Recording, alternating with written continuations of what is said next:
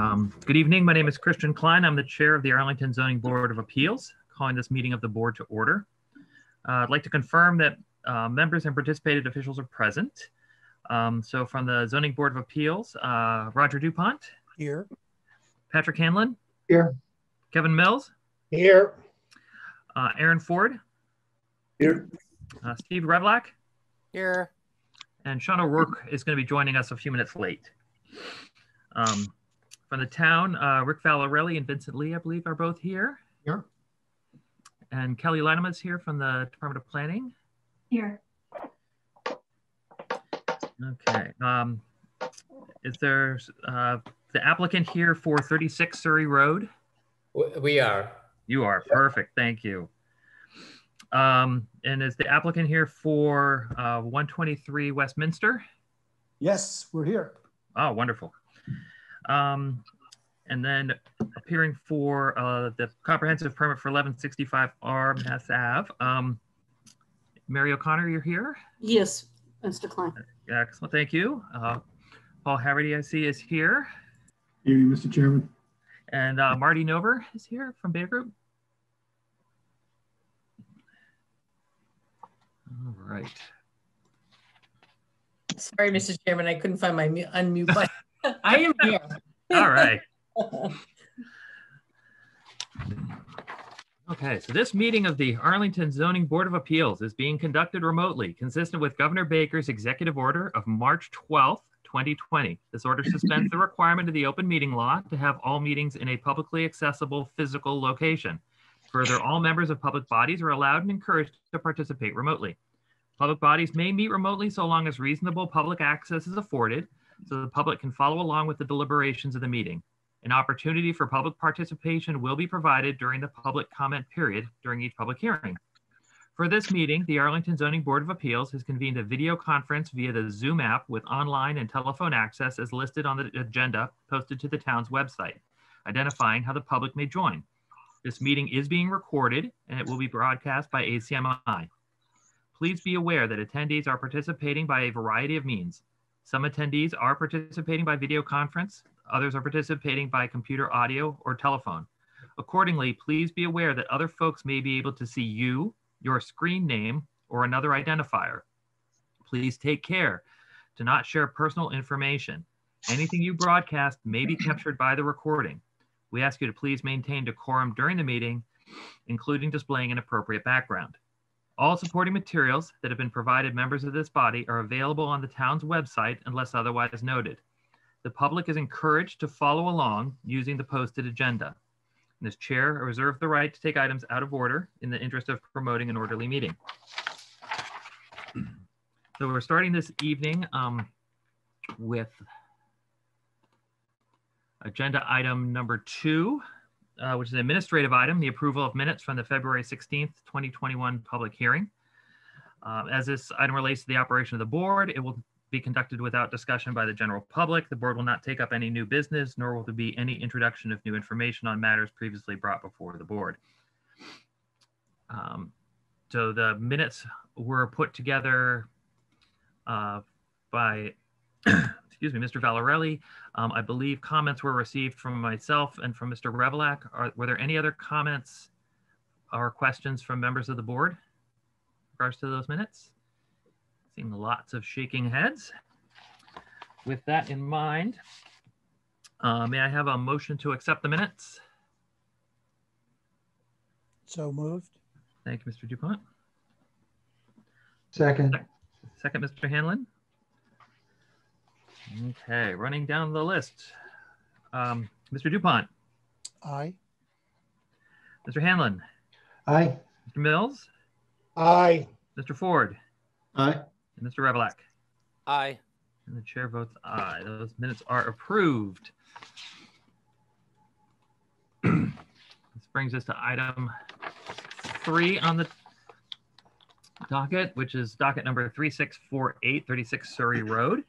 Turning to the first public hearing on tonight's agenda, some ground rules for effective and clear conduct of tonight's business. After I announce the agenda item, I will ask the participants to introduce themselves and to make their presentation to the board. I will then request that the members of the board ask what questions they have on the proposal. And after the board's questions have been answered, I will open the meeting to public comment. So with that, um, if I may turn to the, the applicant for 36 Surrey Road, if you please introduce yourselves and tell us what you'd like to do. Hello, uh, good evening. Uh, my name is Akarsh Shalendranath. And I am Sandhya Prabhu. Um, we live at 36 Surrey Road. Um, it's it's a beautiful house. It's a small house, and we've lived there for we've had it for about four years, and uh, we're looking to add an addition. It's a non-conforming lot, so we've requested a spe- special permit to add an addition so that it gives us the ability to have an additional uh, bathroom and a, and some additional space.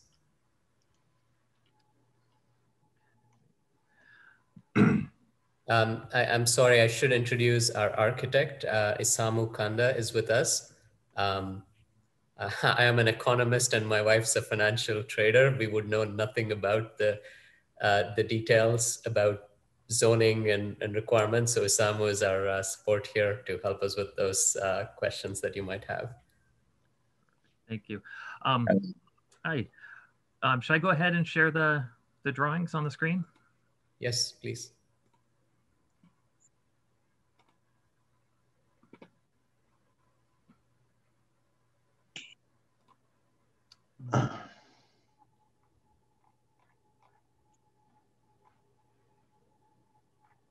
So this is the existing site plan. Um, would, you, would you like us to uh, present this a little? Sure. Okay, great. Thank you. So um, yeah, the, this the proposed addition is uh, is sort of shown in that shaded area. Um, again, uh, this is a house we absolutely love to bits. We spent a year remodeling it when we bought it, um, and and we don't want to move. So this is it, the only way we figured out a way to add uh, a full a second full bathroom and an additional space in downstairs when our uh, folks visit us back from India and they can't really climb up and down the stairs. Um, so we need some space downstairs, and I don't know what that, that's the, So the, the existing plans. So the, that's the new basement. Basement, new first floor. Yeah, and this is the proposed addition on the first floor uh, with a bathroom and then the den and bed bedroom. And then there is, uh,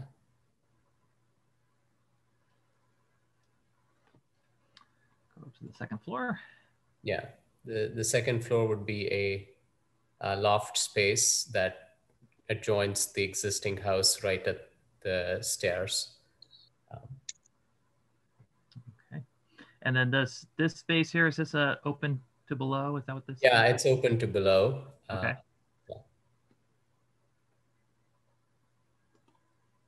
And so, Existing elevations. Yep. And these are the proposed elevations.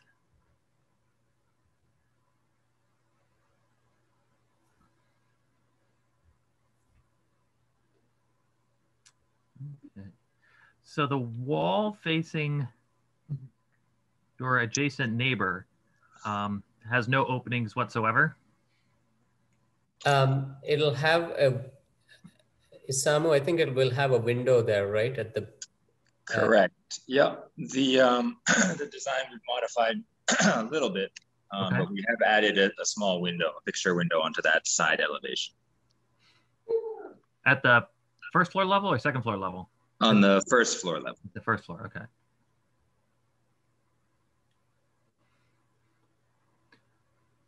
And then what is the height of the,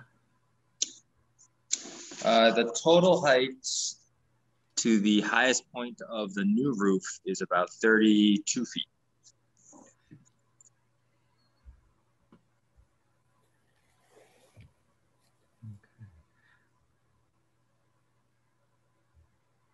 so this is sort of a, a departure from the, the look of the current house. I was wondering if you could just speak a little bit to, to the, Sure. what's sort of driving this. Sure. Um, so the existing house, it's it's a gable roof with dormers on the front and the back. Um, so the the side elevation is sort of like a, a, a book that's been sort of open opening up. Um, in adding a two-story addition onto this existing structure, our main goal, just for the integrity of the roof and the sort of uh, protection from the elements, was to maintain a new roof line above the original roof um, so that we didn't have to interfere with any of the sort of intricate overhangs and um, um, sort of gable ends that are that are um, existing. Um, so the, the logic being that if we sort of kept the height high enough so we were above the existing roof, we could then maximize the um, get the proper sort of uh, flashing protection that's needed. Um, if I may just add, this is not an architectural thing, but just in, in the in the rear, which faces to the rear neighbor's house, there is a historic um, uh, garage or a shed. Um, and so there's there's nobody who lives there, and we'd be facing that. But it, because it's south facing, it allows a lot of light to come, and and we're not infringing on anybody else's privacy, nor are we, um, you know, experiencing any privacy issues. Correct. Um, yeah, I mean the existing facade has a certain sort of symmetry um, and logic from the front, viewed from the street, and we do a couple iterations where we tried to mimic that or uh, even extend that and it sort of threw the overall composition um, off balance. Uh, and that's where we kind of landed with a, you know, sort of a more of an abstract box. So we don't necessarily compete with the existing structure. And sort of color wise, how does it? Um, color wise, we're proposing a darker uh, vertical siding um, that again, you know, the, the existing house is a horizontal clapboard. Um, so sort of complementing that versus trying to sort of compete with it. Um, and the idea is that this um, boxy volume recedes a bit um, when viewed from the street.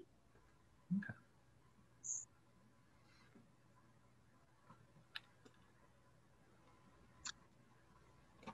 And um, Have you had an opportunity to discuss it with your adjacent neighbor on that side? Uh, yeah, the, um, I've yes, I've shared all the documents once it was posted, um, okay. and and I've had a conversation this morning as well. Okay. Good. Um, then I have a. The only question I have uh, is a question for Mr. Valarelli um because i think we had something similar to this come up on a prior project in east arlington where the addition comes out over the existing driveway um so it's you to the the, the area of the driveway that goes past the side of the addition obviously remains as it is but the portion of the driveway that is now between the addition and the street is entirely within the front yard. And does that no now no longer count as a parking space? Actually, Mr. Chairman, the, the exist, the pre-existing non-conforming front yard would be at the very front of that existing porch. Okay. So, the- I'm sorry, go ahead. So I was gonna say, so you're so essentially from the front edge of the from the front of the porch to the street is what's considered the front yard in this case. That's correct. And that was similar to the case we had in one of the East Arlington requests. Okay. And in this case, obviously that's not large enough for a vehicle anyways. That's correct. That's consistent, right? Okay.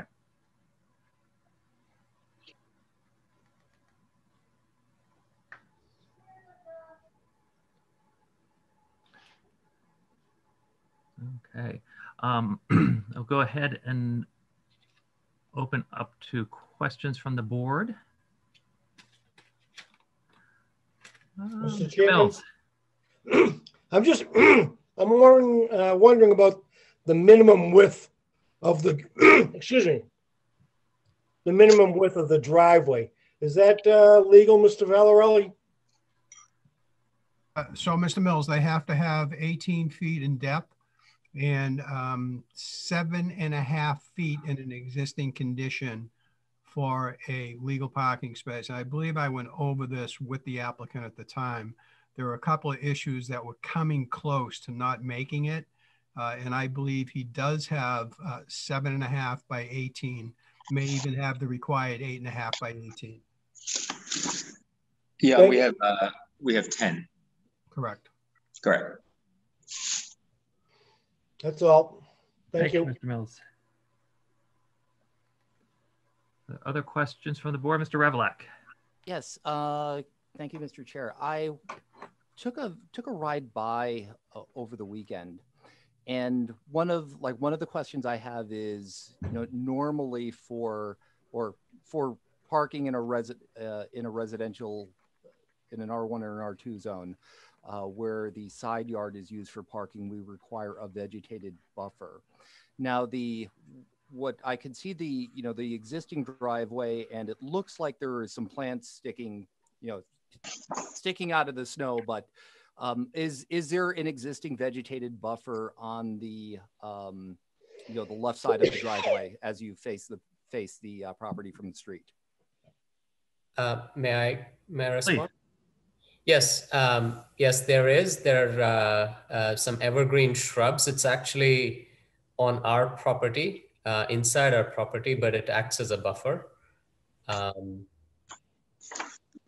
yeah, it's it's throughout the length of the um, property line up until the shed, existing shed. Okay, thank you very much. Um, and another question, and this might be for, um, this would be for Mr. Shilendranath. I hope I was at least close with that, or um, You, Mr. you got it right. Oh, excellent. Um, one of the things that I caught my attention about the about the house was the facade underneath the front porch and the the stairs. It's a little. It's a looks looks sort of like a darker wood. Um, very much of an emphasis on horizontal lines. Um, kind of contemporary looking and is that sort of what you were going after with the vertical um, vertical paneling on the addition Yeah, that's right. That's those are Douglas fir wood. We we Mhm. left it, uh, you know, looking natural um, with some sealant, Mhm. uh, and it's just aged that way. We're going for something very similar on the the proposed addition, but it'll have vertical. Um, um, I, I, Isama, what do you call it? Post Uh, vertical siding. siding. Yeah, sorry. Yeah. Yeah, I mean, overall, I like it. It's um, one of the things I, I thought it helped do was to um, sort of de-emphasize the the lar- the you know the existing driveway, and you know maybe center that centers the building a little more on the lot. So it um, it looks like it it I, I I like the I like the the proposed addition. I do have a little bit of a concern about um, you know the wall uh, on the left side of the addition where you know, the plan Mr. Klein showed before didn't have any windows, but I guess you are planning windows at least Mhm. some on that side. Okay. That is all I have. Thank you. Thank you, Mr. Revilak. Further questions from the board? None. I'm just gonna quickly flip it back. Um, so this is the um, the memorandum prepared by the Department of Planning and Community Development um, in regards to this project. Um, and just sort of quickly going through the criteria um, and the photographs, the recommendation of the Department of Planning and Community Development um, that the proposal is consistent with the bylaw and recommends approval of the application. Um, I will go back to the plan and I will um, I will now open up the meeting for public comment. Um, Public questions and comments will only be taken as they rel- relate to the matter at hand and should be directed to the board um, for the purpose of informing our decision. Members of the public will be granted three minutes each. Additional time may be provided at the discretion of the chair to provide time for questions to be addressed. Chair will ask members of the public who have identified themselves by logging in through Zoom who wish to speak digitally to please raise their hand using the button on the participants tab in the Zoom application. Those calling in by phone, please dial star nine to indicate you would like to speak. You'll be called upon by the meeting host. Your audio will be unmuted and you'll be asked to give your name and address. You'll be given time for your questions and comments. All questions will be addressed through the chair. Please remember to speak clearly in a way that helps generate accurate minutes. And once all public questions and comments have been addressed or the time allocated by the chair has ended, the public comment period will be closed. Board and staff will do our best to show the documents being discussed. Um, so at this time, if there's anyone who wishes to speak um, to this application, if you could please go ahead um, and using the participant, participants tab, raise your hand.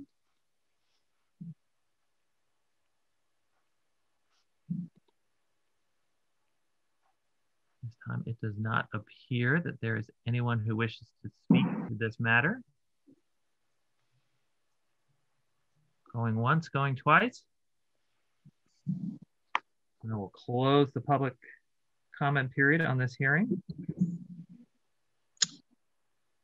And if I if I may, um, and this, this may, yeah, this may be more directed um, to Mr. Varelli, um, but in kind of going through this proposal with the uh, potential builder, we did uh, sort of think about structural um, ramifications of this addition as well. Um, and so one idea which um, we sort of came up with was if this proposed footprint of the addition were to move back about a foot from where it's currently shown, um, so basically a foot further back from the front street, um, that would put the rear corner of the addition at a more favorable location potentially relative to the original um, foundation. And so if we were still able to maintain all the required um, setbacks without um, increasing any of the existing nonconformities, um, we were curious whether that modification would be um, able to be considered. Uh, so I'm sorry, is this Mr. Kanda? Yes, it is. So that is something you'll have to address with the board uh, tonight because what they're going to approve or not approve is what's in front of them. Okay. So any change, uh, you may ask the chair about that tonight. If it's okay. enough, he may may or may not let you go forward. But okay. I, don't, I don't have the authority to make any changes to a special permit application or a variance application. Okay. So essentially, are you asking to be able to shift the addition back so that the rear line of the addition aligns with the rear line of the house? We, we would move it uh, about one foot back uh, so that it, it actually uh, misses that rear corner, which um, we discovered there's a bit of old plumbing that goes in through that sill. Oh, okay. Um, so rather than sort of try to compromise what's existing, we'd rather sort of get one step behind it and, and put in a new foundation, um, um, just to minimize any structural considerations later. Okay. So the proposed uh, on the on the site plan right now, the proposed addition is slightly back, or you know, slightly forward of the the rear line of the house. Correct. if I can find the. Okay.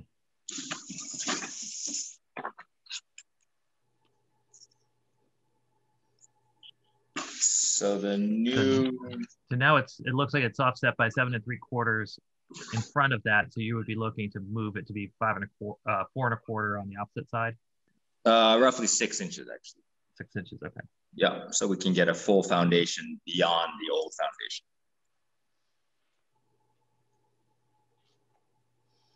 And that does not impact the, um,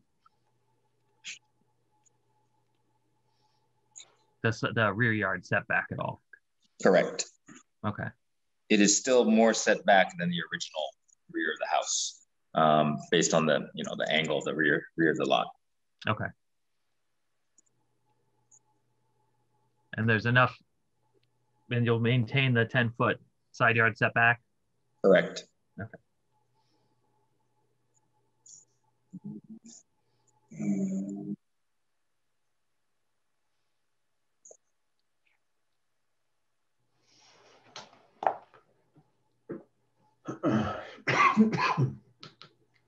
And then on the front, I think where it says 19 foot three, that would grow to 20 foot three.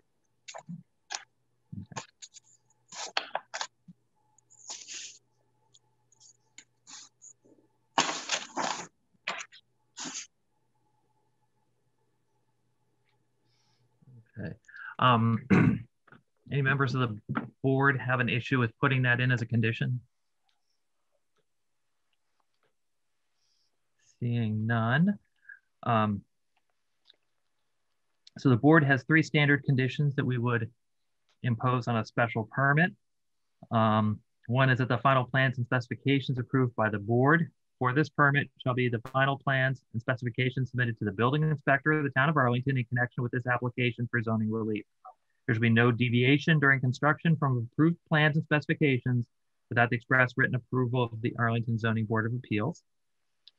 Uh, the second is the building inspector is hereby notified that he is to monitor the site and should proceed with appropriate enforcement procedures at any time deems that the violations are present and the inspector of buildings shall proceed under section 3.1 of the zoning bylaw under the provisions of chapter 40, section 21D and institute non-criminal complaints.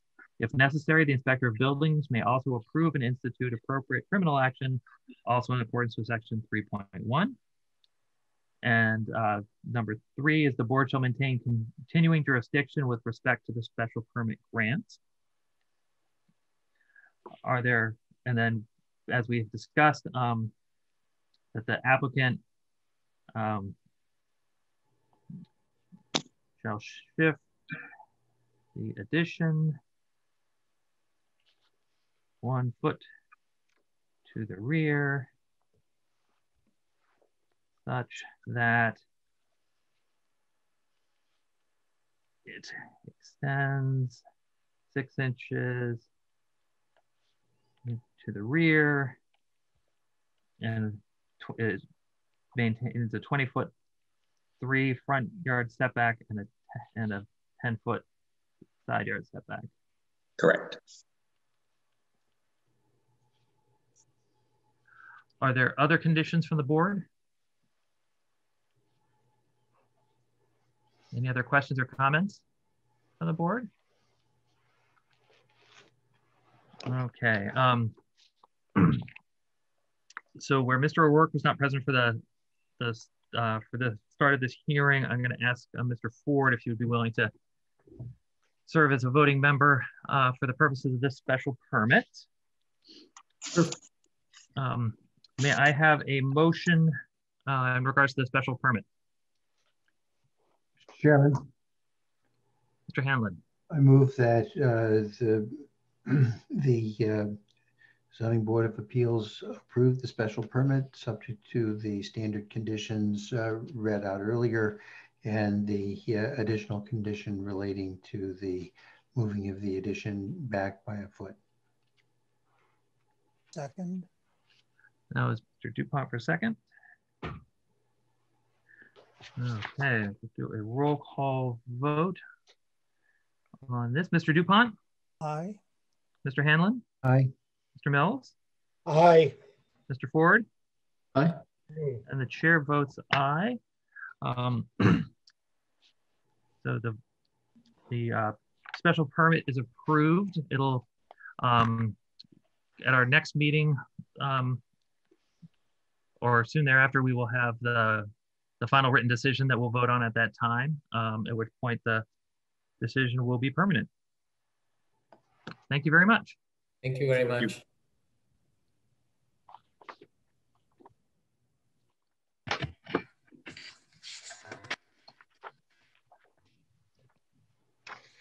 Check in if there's anyone waiting in the waiting room, but I don't think so.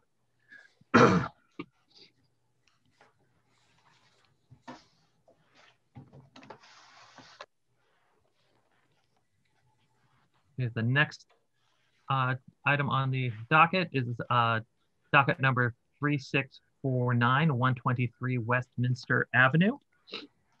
Um, if the applicant can please um, introduce themselves. Hi, my name is Gustavo Pardo. Good evening. Hi, I'm Tina Halfpenny. Great, to you both. What is it you would, folks would like to do? We want to build a greenhouse.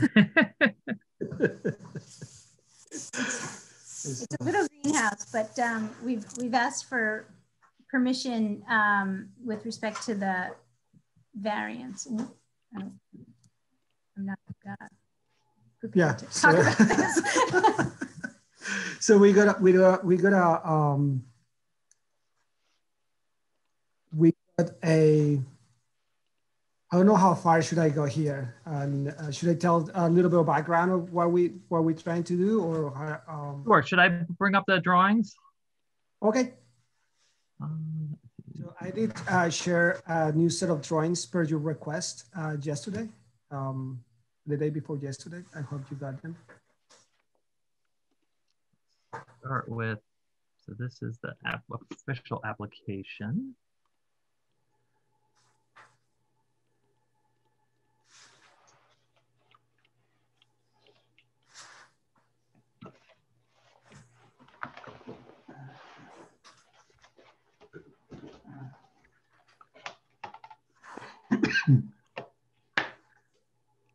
This is the, the information you sent most recently. Yes, sir. Okay. Okay, so um, we're trying to, um, we're planning to uh, build a greenhouse in our property. Uh, our property is a historical uh, home and, uh, and it follows the guidelines for the historical commission. Uh, so we did start building um, the frame last year in September and, uh, and the historical commission uh, told us that we needed to stop until we get approved from the historical commission. We did the whole process and, uh, and they approved it on December 17th. Uh, so there are some conditions in our site that it makes um, the location for the greenhouse uh, uh, to the location that we propose. So first, we're in a, our, our terrain has a really high inclination and it has a series of uh, retaining walls uh, to provide some kind of flat surface, but there is no flat surface um, in the front of the house. Uh, another condition that uh, we have is that the historical, uh, um, it's not historical commission, historical commission, yeah, Commission. yeah, historical commission. Uh, they don't allow any structure that covers the front of the house. So if you go to the next slide, um, it will show different points of view from the street from, uh, from Westminster and, um, and also the location of the retaining walls. So the only location that we can build the, green, the greenhouse is on that corner. If we move, if you move a little bit um, towards the top of the site, um, the, the pitch, it gets, uh, it will be pretty hard for us to, to build it in that location. Um, there is no light in the back of the house um, uh, because we're at the end of the hill. Uh, so that's the only location that uh, we could build um, our structure.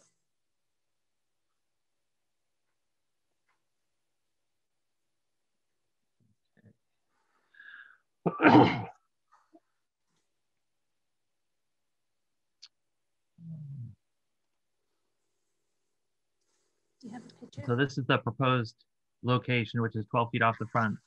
Um, yeah, so it's, uh, it's 12, 12, from, 12 from the front and 2 6 from, the, from uh, our neighbor. From your neighbor.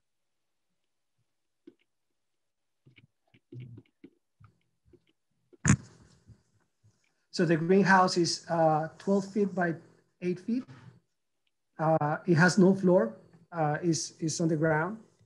And um, the structure is, is a wood structure. Wood structure is a wood frame construction. Uh, it's temporary and, and it's, um, the walls are uh, polycarbonate.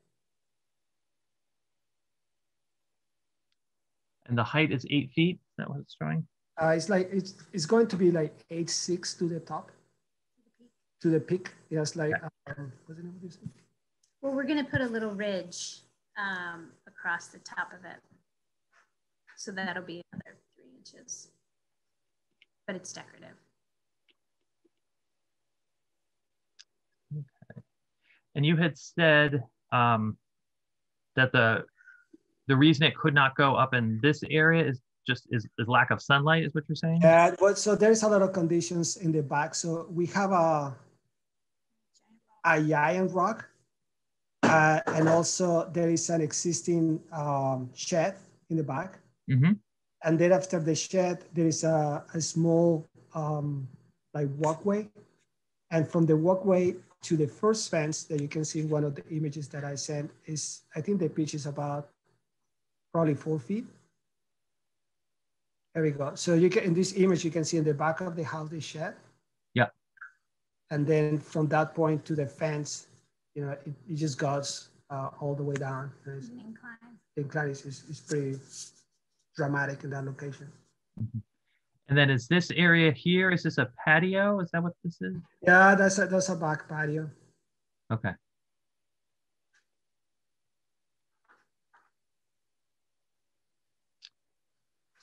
And then um, I don't know if you know, I don't, Mr. Valarelli may need to answer this question. So um, for a corner lot, the two sides that meet the street are both considered front yards. That's correct. And one of the sides is the back and one is the side. And I don't know if that has been established for this property. Do you know, Rick? I am assuming I'm, that I'm, Sorry, go ahead. I'm sorry, Mr. Chairman. I, you go ahead. I was gonna say, I'm assuming that the side off of Westmoreland being tighter is considered the side and the, the one coming off of Westminster being wider is considered the back. That's exactly right because the uh, side coming off of Westmoreland would not qualify. It's too narrow. So in fact, they do have two front yards. Okay.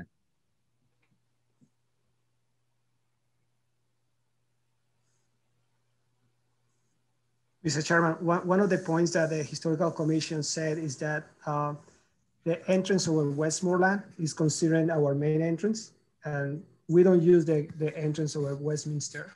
It's, uh, it's, I, I think since we've been here, we probably use it twice, maybe once. Not even the, not even the mail use it. A lot of, there's a lot of steps.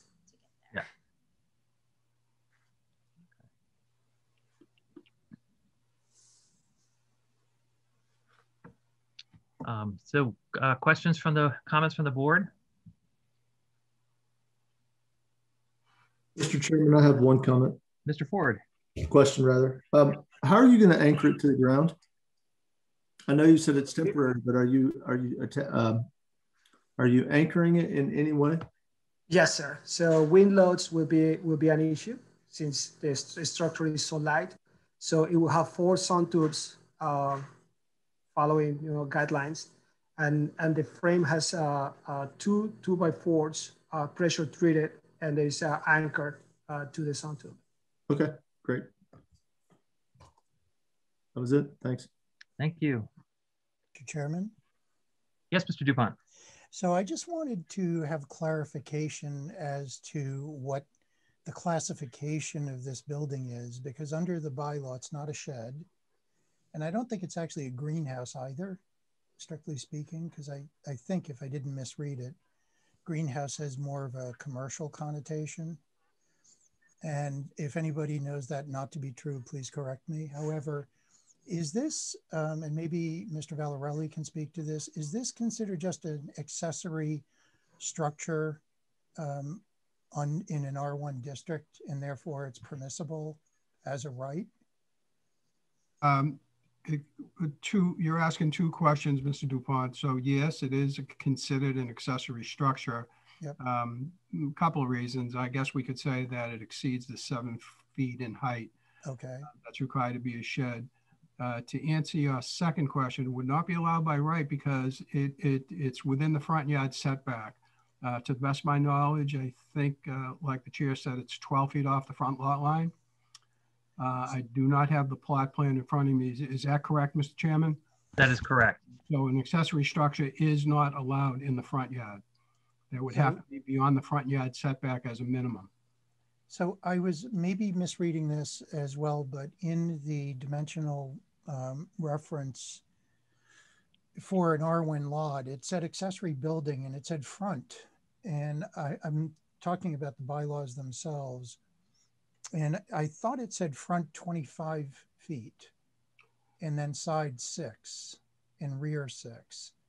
So I realized that the rear is not involved in this, but I was wondering, because I think if we're granting a variance, we have to know specifically which uh, section we are granting the variance from. And I just wanted to make sure that that was established clearly. Okay, I believe we're in section 5.3.13.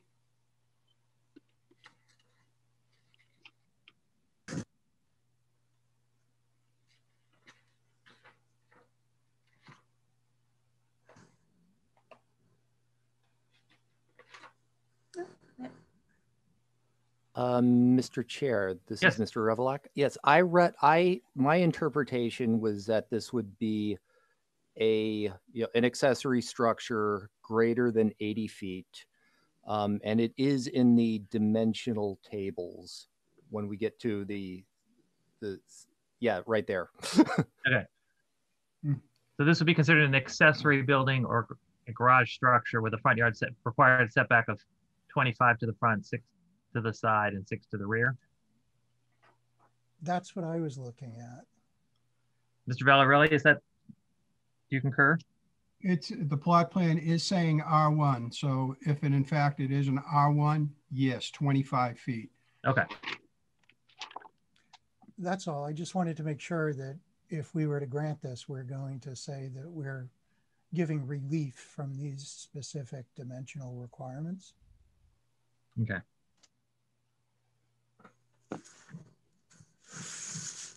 Are there other questions from the board?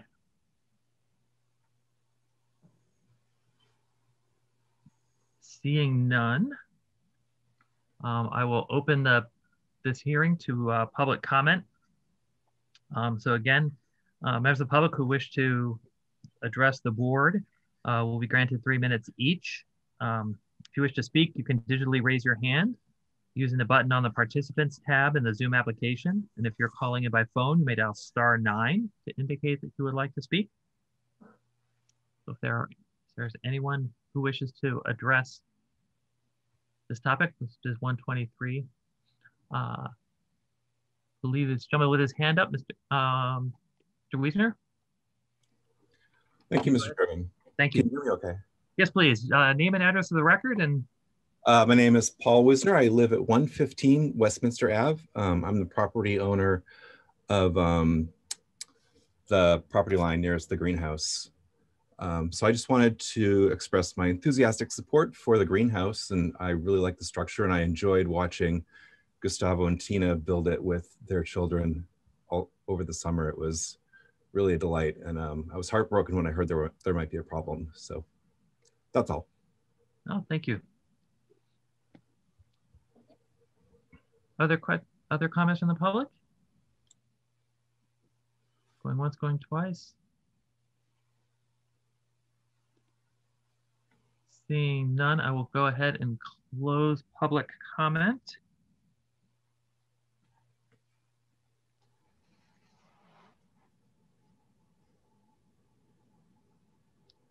Okay, so back to the board. Um, so this is an application for a variance. And as such, the criteria is different than it would be for a special permit. Um, so the criteria for a variance are established under in state law under uh, chapter 40A. Um, and there are four criteria and all four have to be met.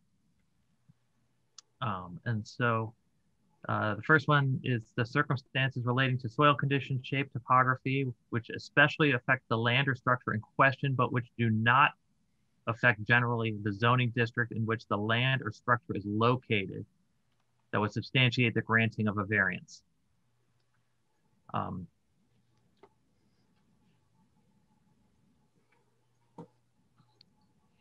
so this is the criteria, this is the statement from the applicant.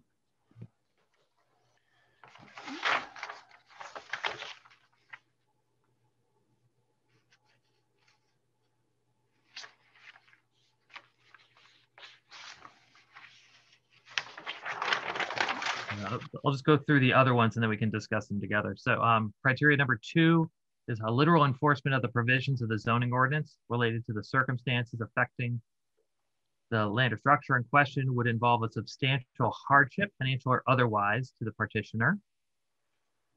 Uh, number three is how desirable relief, relief may be granted without substantial detriment to the public good, and how desirable relief may be granted without nullifying or substantially derogating from the intent or purpose of the zoning bylaw of the town of Arlington. Mr. Chairman? Yes, please, Mr. Hanlon. Um, I don't have any difficulty with the first and the last two of the conditions. It seems to me that the problem here is related to uh, the topography of, of, of the site and uh, uh, which makes it exceedingly difficult for the applicant to do what he wants to do uh, consistently with the uh, demands of historic preservation, which was also an important town policy. Um, it also seems to me that there's no substantial detriment to the public good. It's a temporary structure. It's been approved by the Historic Commission. Uh, I'm persuaded by Mr. Wisner that it would be uh, a favorable addition to uh, the neighborhood. Um, and for the same reason, I don't think that it would nullify or substantially derogate from the intent or purpose of the bylaw. So I, I skipped over number two, um, which asks to describe how the literal enforcement of the provisions of the zoning ordinance um, would involve a substantial hardship, financial or otherwise, to the petitioner. Um, and I wanted to have a, something of a discussion there. Ordinarily, we would not rule that there is a substantial hardship merely because an applicant would be prevented from doing what the applicant wants to do. Uh, and I'm not really quite certain how we could articulate what the special hardship is other than that. Uh, and so I would welcome anyone who has a good theory about that.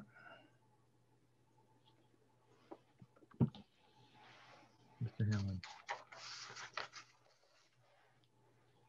Members of the board? We might, you know, I also don't have a particular issue with the siting of it. I think it works. I think it's actually, you know, rather sort of attractive where it sits because the change in elevation, it sort of sits up and it's a little bit, it feels like it's farther back than it is because of where they're, where it has been framed so far. Um, but the the variance is really there to allow you to do something that you couldn't do otherwise.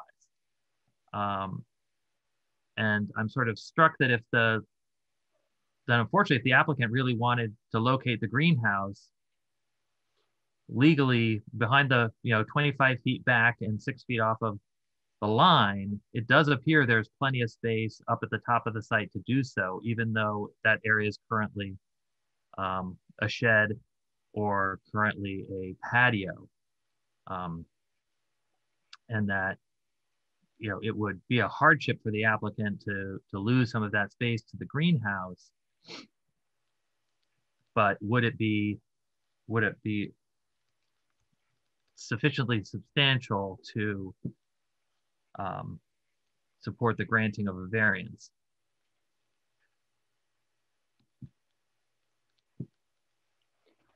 Mr. Chairman? Yes, please. Um, I actually sort of like that theory. Um, you know, substantiality is sort of you know, one varies somewhat with the circumstances. Um, building a major structure here uh, might very well require a higher showing of substantiality than the kind of temporary structure that uh, that is envisioned. Um, and so, you know, in deciding what is substantial, I think that we have to take into account the context. Um, and I think this is otherwise sufficiently in the public interest that I think I would be prepared to, to do that.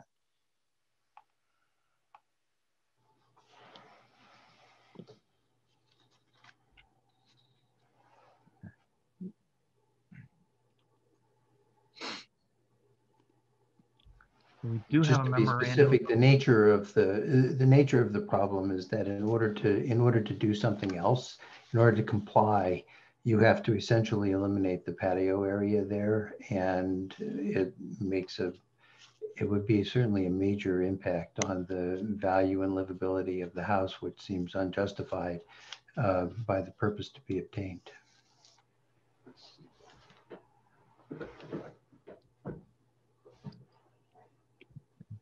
So we, the Department of Planning and Community Development issued a memorandum on this property. Um, so in regards to the to the variance criteria, um, they agreed that the there are limited areas where an accessory structure could be constructed without increasing or creating a nonconformity.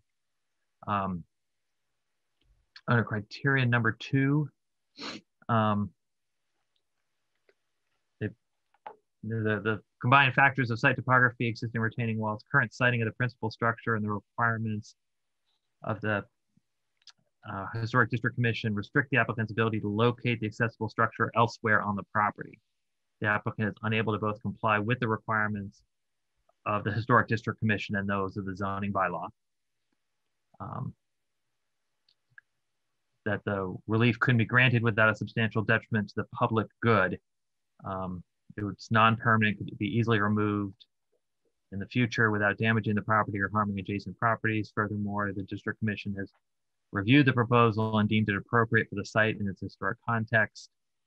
Um, and criterion four, how desirable relief may be granted without nullifying or substantially derogating from the purpose of intent. Uh, proposal complies with definition purposes in the intent of the R1 single family zoning district. So some additional photographs so you can see here's the house as it currently sits and this is the, the framing for the greenhouse here on the side. Yeah, so that gives you another better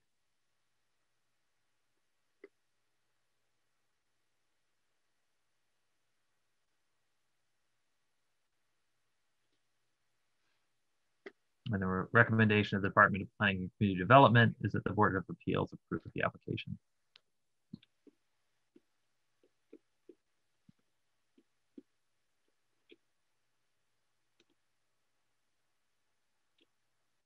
So then the question before the board is, does the application meet the requirements of the four criteria? Are there any further questions or comments from the board on those? Seeing none. Um, Mr. Hanlon, would you recommend um, going point by point to the four points for findings, or should do you think we're fine just going straight to a vote? Um, I think we're fine going straight for a vote. I'd like to, I would like to make a motion and, and state specifically that the finding on number two is the way and is sort of a combination of the way the um, uh, planning department articulated it and the uh, uh, definition of substantial hardship that uh, you submitted in your response to my original comment. Okay. Unless there's further comments from the board, I'll go ahead and have Mr. Hanlon make his motion. Mr. Chairman, I move that the Planning Commission approve the variance in this case, finding specifically uh, that number one is met for the reasons stated in the Planning Commission or the uh, Planning Division report. That number two is met for that reason and for the additional reason that in order to locate the greenhouse in an area uh, in, an, in an area where it would be in literal compliance with the zoning ordinance would require uh, either uh, that would require the sacrifice of area, the patio area and uh, and other areas that are uh, currently important for the use of the house. Uh, that third and fourth, uh, this is subject to that. This is without detriment to the to the public good and does not nullify or substantially derogate from the intent or purpose of the zoning law, uh, again, for the reasons that are articulated by uh, the planning department.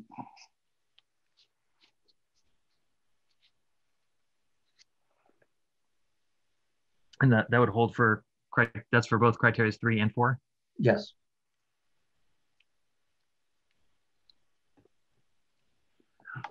We have a motion in front. Do I have a second? Second. Thank you, Mr. Mills.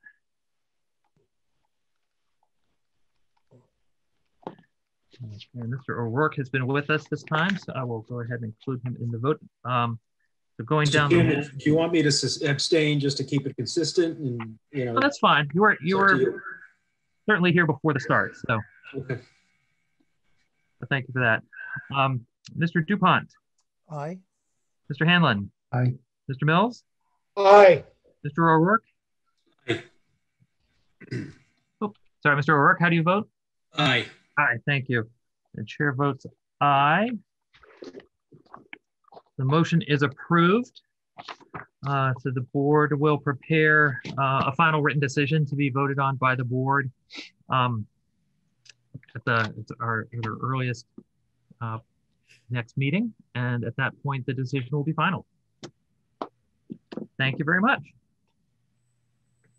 Uh, Mr. Chairman, just one question. So we cannot do anything until uh, until next vote? Um, Mr. Valarelli? Uh, that, that's correct, Mr. Chairman. They can't proceed until the decision is written. Okay. And, and that will be? So we're anticipating that, so we have a meeting scheduled for um, March 11th. So we're anticipating that we would vote on the decision at that point. Um, let's see here. Do I have another another earlier? No, March 11th is the next scheduled meeting of the of the board. But I think, Mr. Chairman. Yep. Uh, I I believe that this will will be ready by March 11th, and okay. uh, I do know that Mr. Valerie Melly can comment on this. There's there's a period after that vote where the decision has to be filed as well. Uh, and so you have to just sort of wait for that pro process to take its uh, course, but it's relatively quick. That's yeah. correct, Mr. Hanlon. So, um, Gustavo, you're, you're realistically looking at April 11th to be on the safe side, uh, possibly a little bit before. I'm sorry, you say April 11th? Yes, a little bit before. Oh, okay. Thank you. So we, we cannot do anything at the, at the structure until April 11. That's correct.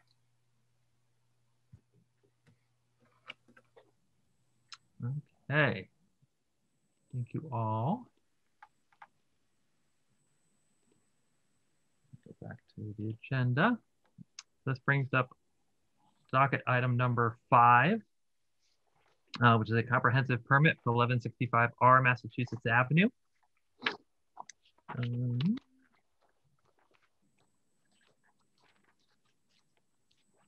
okay, so we are now turning to the comprehensive permit hearing for 1165R Massachusetts Avenue. Um, some want to review the ground rules for effective and clear conduct of tonight's business. This evening's discussion will focus on architectural and site layout. The submitted documents are available as an attachment to the posted agenda. I'll ask the applicants to introduce themselves make a short presentation to the board. A fuller introduction was made at the January 5th hearing and need not be fully repeated at this time. Members of the board will then have an opportunity to ask what questions they have on the information that has been presented. And after the board's questions have been answered, I will open the meeting for public comment. So with that, um, Ms. O'Connor? Thank you, Mr. Chairman, members of the board, good evening. Uh, as previously mentioned at the January hearing, this project was designed to incorporate the goals and objectives of the master plan, the town's housing production plan, the open space and recreation plan, and the Millbrook corridor study. You will hear about that tonight.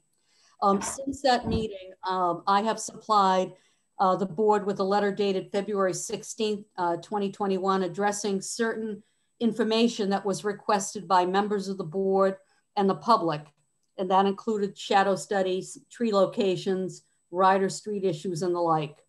Uh, this evening, Joel Bargmann of BK&A Architects will review the design and uh, provide information as to uh, the site and architectural design, and Kyle Zick will address the landscape design for the site. Specifically, the subjects of Ryder Brook, pedestrian, bicycle, and vehicular access and safety, parking ratios, stormwater management, wetlands, uh, the riverfront aspects of the and the riverfront aspects of the project will not be addressed as these subjects are slated for subsequent hearings. So I, would like to introduce Mr. Bargmann, who's the lead architect on this project. Thank you. Thank you. Thank you. Um, just sharing the screen. I'm checking to see if you can see that now. We can. Um, there's a way to make it, uh, put it into more the presenter mode, I think. There we go. And thank you for having us. Uh, I uh, appreciate the opportunity. Um, as you requested, I'll try not to repeat what we discussed last time. I have good notes, we think, from our team, and we've put together a presentation to address the particular uh, questions that were raised and, and fill in the blanks. Just as a summary of the project, again, it's a total of 140 381,000 square feet. Um, the residential portion of that is 107,000 square feet. And then there's two levels of garage. Um, you'll see on the site plan that the 90 plus percent of the parking is in the garage. We have 11 surface spaces and 124 garage spaces for a total of 135 spaces on site, 114 bike spaces inside, and that is a topic um, I'd like to discuss later in the proposal presentation tonight to show you how we're parking those and, and counting those. Um, the breakup of the units had been asked for at the last meeting. We have 31 studios, 56 one bedrooms, 32 bedrooms, and 13 three bedroom apartments for a total of 130 apartments of which 33 are affordable, 97 are market rate apartments. This is in the category of housekeeping a little bit. Um, I think there was a question and maybe a, a, lack of clarity on our exhibit last time. Um, the yellow area is the site area taken on an aerial view. Um, that's the site area for the 40B project. Um, the ownership owns Work Bar, which is this site, not in yellow, but that's not part of the um, application to the Zoning Board of Appeals.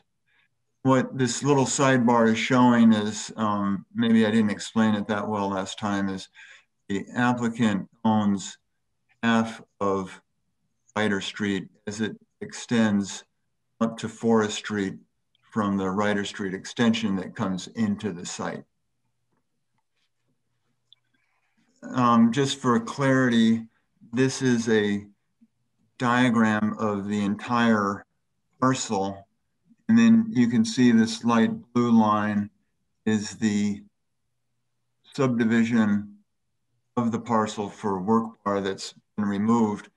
The reason we're showing this um, overall diagram is the red line indicates the area of the mill complex and th those red lines are important because some of the topics that will come up, particularly next week with regards to wetlands, are different for sites that are mill sites because obviously they were built in proximity to wetlands, ponds, streams, the Millbrook.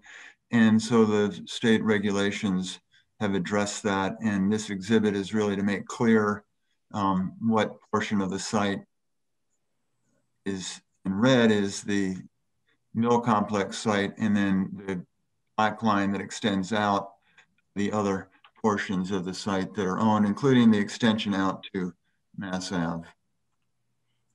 And that's an aerial photograph that just shows that same map with the current site conditions.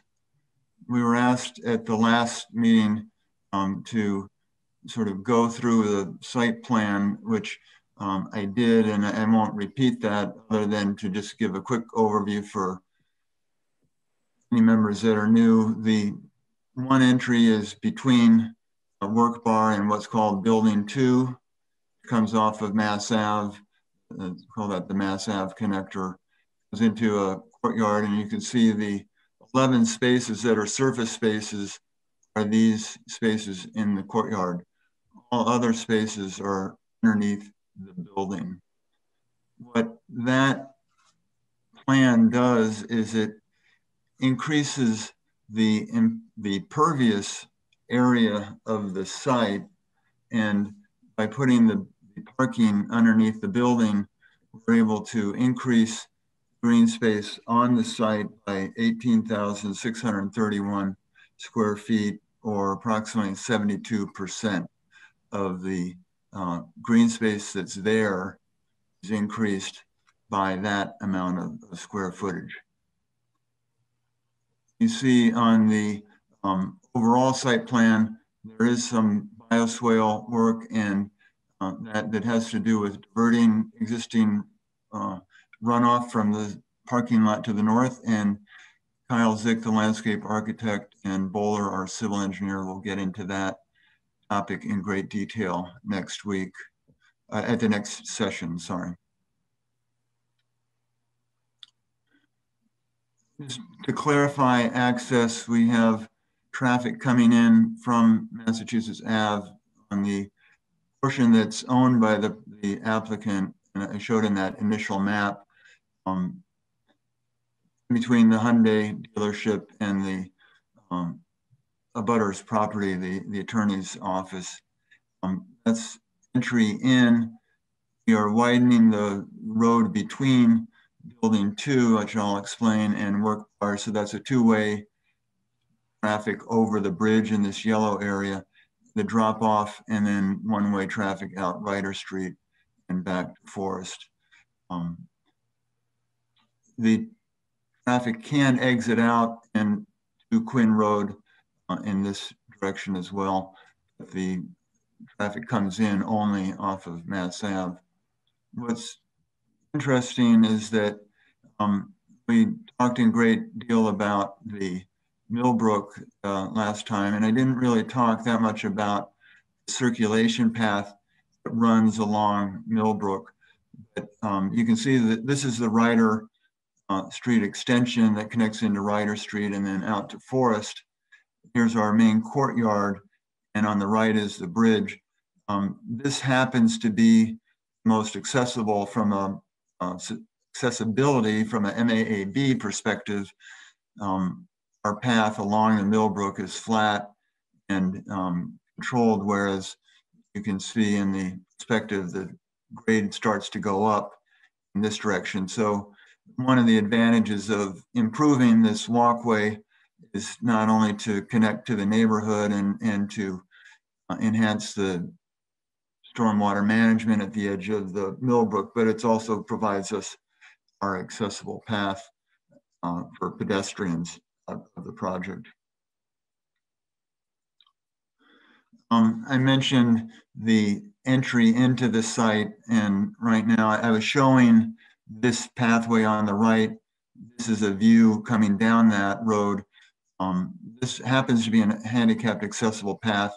So all of the buildings within the complex work are new buildings, building one, are all on an accessible path system um, with grades that comply with the MAAB requirements.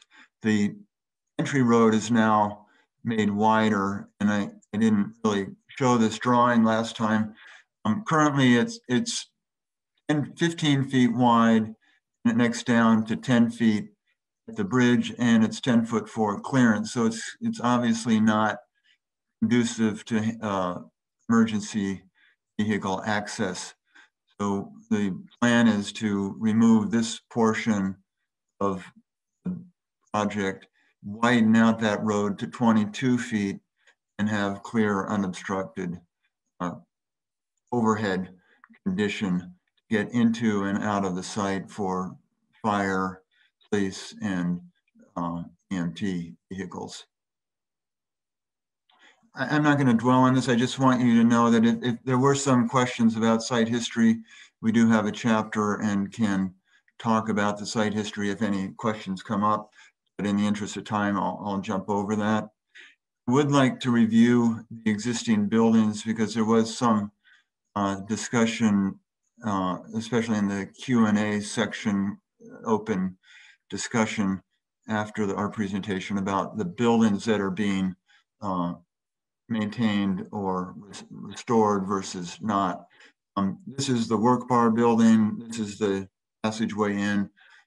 Building two is the three-story wood building. Building one is the brick building and the engine room and building three, four, and five. I mean, three and five are these rear portions. I'd like to just walk around the site and explain um, properties the big picture is that five of the older or the historic buildings in the complex have been or will be preserved and adaptively re reused in this um, project when it's all finished. Um, there are three smaller buildings in the back portion of the engine room that are being removed. And there's also a, a relatively nondescript 20th century infill that's being removed. And I want to just make sure that we're clear what's being kept. This is building one. This is being restored. The, the ground floor has actually got new windows. New windows are in the building ready to be installed that match these ground floor windows.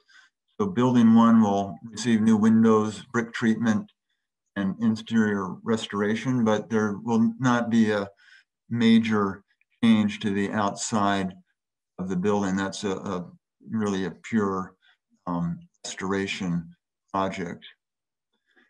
There is a addition on to building one, which is the building on the right, and elements to the left of that dashed line are being removed. There's this new loading dock that represents an accessibility issue because that and a portion of the floor that goes into the building is raised three and a half feet, rendering that area uh, not accessible. And then you can see there's some new additions on the back side that um, are uh, garage and utilitarian in nature. Just when this portion comes off, I mentioned that building one is restored. That's the condition that it's restored to. This is the white line where the um, building is being removed. That becomes the new entry to the project. And then the new amenity space and apartment building is behind that. Okay, here's the corner. I mean, I jumped a little bit fast. This goes up and then turns the corner at this point. So this 20th century garage is one of the elements that is being taken down. It's not of historic value, obviously. Um, that 20th century garage fits into the back of two garage structures that have been adapted over time with overhead doors. Um, this is another view of those two structures, one garage, this is building five. These two structures are being taken down along with the 20th century uh, garage.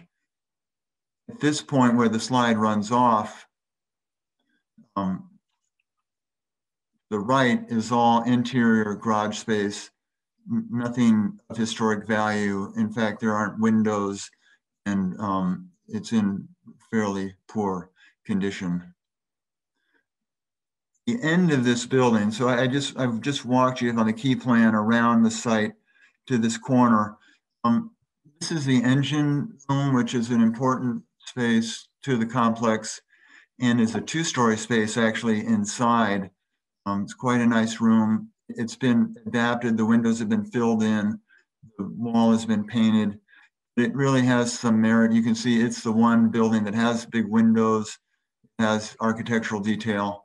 So this portion of the building is being stored. And my, my point is that we're taking off some of the buildings that don't really have high value from a development side or historical side and focusing our energies on restoring the buildings that really have value and can uh, add value not only to the complex, but to the public way that we discussed in detail at the last session. This sort of public access park comes along the new Millbrook walkway. And the engine room is on your right. You can see the beautiful windows that were there that were covered in, and then the wall was painted over. So we're gonna do some work to restore that building. And then we're taking out this portion of the garage, and that will be replaced with a new link, and then the apartment building seen back another 50 feet from that. Um, this is to show the engine room building and the public access ways, the green space that's created by elimination of this element that really is uh, not of use to the development. And further, it, it obscures two floors of windows in the beautiful corner of building one. So it, its removal enhances building one. I do want to talk about building two in a little bit greater detail because um, was discussion about building two. Building two is the one on the south side of Millbrook. It's a three-story building. It's in extremely poor uh, condition. This is the backside um, above the Millbrook. You can see the windows are, are rotted. The siding is coming off. It, it's in uh, poor condition. It's been added on to over time. This is an addition for a garage. Was added over the Millbrook, and I'll discuss what that's caused in a second.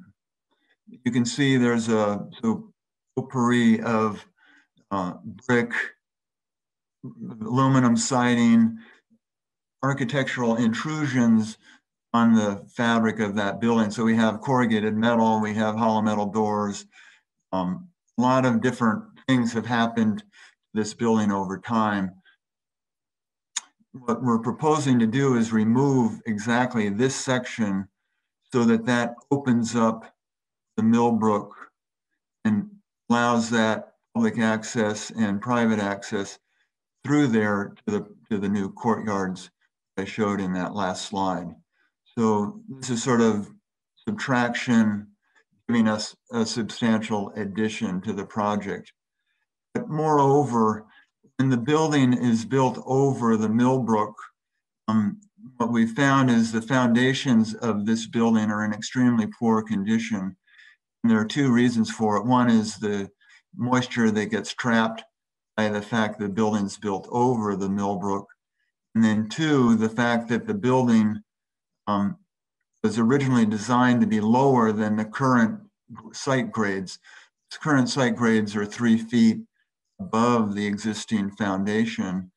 And over the you know, many, many years that this grade has been raised, um, snow and water have collected in that area, and this foundation is in extremely poor condition.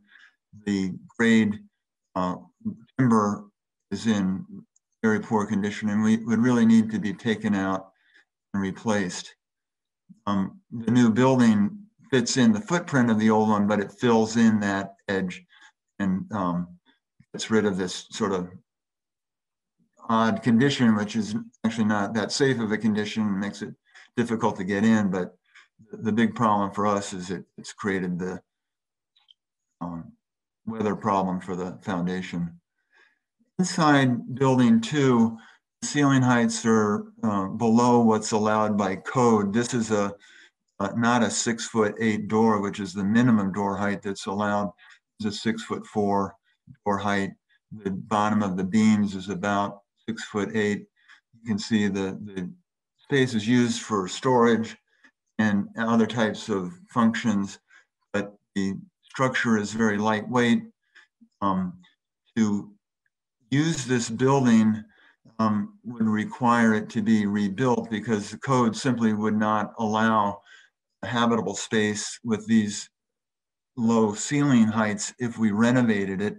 And the renovations that would be required for this building would total more than 30% of the assessed value of the building, which would trigger full code upgrade and compliance.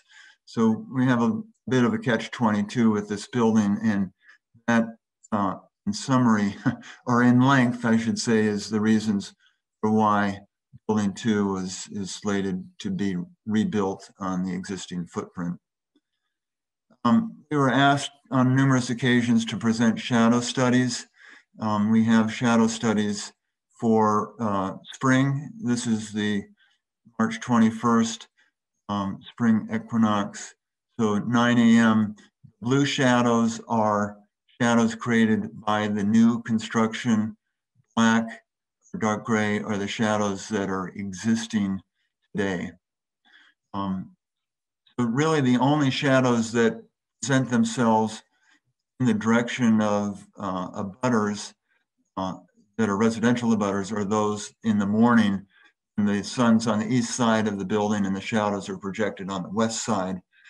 And um, even late afternoon, there's very minimal shadow. You can see in the lower right portion, very minimal shadow cast on the auto detailing building that's next door to building two, which is where my cursor is.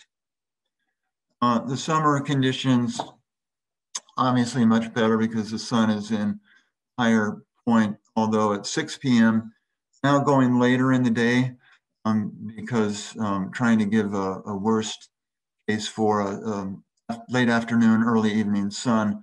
Um, again, there's some shadow cast from building two. It's not new shadow. Um, any shadow on the abutter is an existing shadow from where uh, cast by building two today. October, um, just missed the industrial building on the edge of uh, Ryder Street and then you can see it, there's shadow cast under the parking lots, but again, not nothing to abutter properties.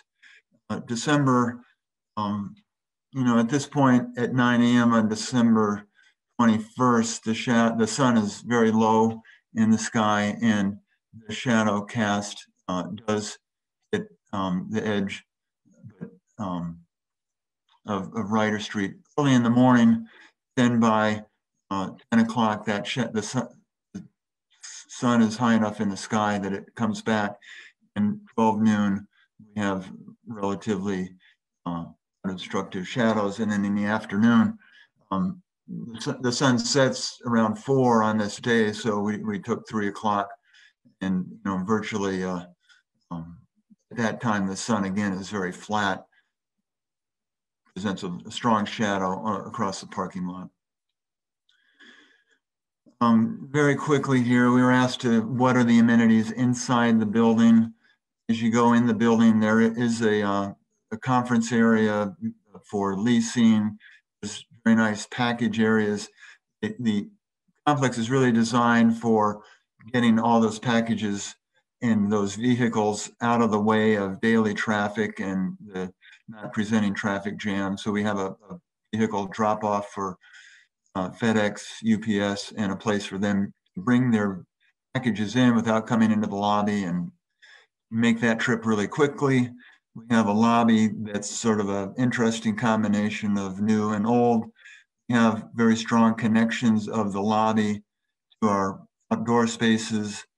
The building is a combination of industrial past and uh, taking advantage of woods and woodworking sort of in sort of homage to the Schwamb um, millworking company that was there after the piano case factory left. This is a paradigm image of what we can do to the engine room and shows why we excited about uh, focusing energy on the engine room, which is a two-story space. We'll be looking for artifacts to display um, and enhance in the lobby. Um, sort of again, that the amenity space will include some activity spaces for residents and a full gym. And it's again a combination of new and old that we think is conducive to the property. Um, the property is, um, call it episodic industrial architecture. And in other words, industrial architecture evolves over time. And this is the private courtyard. I've shown you all the public courtyards. This is the amenity courtyard that connects to the main lobby. And it really sort of shows you that episodic architecture is continuing on with our new project that we have building one, existing historic building. We have a connector element that's corrugated aluminum. We have a new building and each one is treated a little bit differently. And that brings me close to the end where you had wondered what the materials were on the building. And we'll go around the building very quickly. This is the corner where we enter the parking garage. Um, so it's the westerly corner of building four. This is building one, the brick building. that's our entry. So we have a combination of different fiber cement panels, which are high quality, um, very durable and maintainable. We have high density wood uh, fiber cement that defines the base of the building where the amenity space is located. This is a blow up of the entry portion of the building and you can see where the wood portion of the building is, where some of the metal and fiber cement panels are the entry. And then go up three stories and have a little reveal in a fifth, uh, well, four story residential on the two story garage, sort of set back with a mansard type treatment on the roof that's the dark fiber cement. Similar treatment to the rear of the building, again, fiber cement siding. The connector building that I showed is this ribbed metal. So again, it's that sense of episodes of architecture over time, um, different buildings or different materials and make interesting architectural connections, including building one, two, which is a different color, has a different window style, and different treatment of the fiber cement. I know it's hard uh, to present this. What we've done on other projects is have physical samples that we would be happy to leave at, at Jennifer's office or any other office in town. And we could have these well, eight and a half by 11 drawings and anybody that wanted to see the physical samples um, from the board could go and see those physical samples. I mentioned in the beginning, I'll do bike storage. We have an amenity bike room that has 42 bikes. We have a garage bike room that's storing 72 bikes. And this is a total of 114 bike spaces in the garage. We have outside racks for 22 spaces. What we are proposing is to use this bike system, which is in a project of ours um, nearby. It's a stacking system that allows us to get more bikes per square foot. It's a very popular system because um, these racks very easy to load bikes onto. And the amenity bike room includes the lower right image uh, bike repair facility. I wanted to mention that we are showing 114 bike spaces. If those bike spaces matched the true definition of a bike space per the zoning ordinance or the planning requirements for Arlington, we would only be showing 44 uh, bike spaces. So this is one of the um, waiver requests that we're seeking. Um, if we didn't do the stacking bike system here, we also do this vertical stacking system.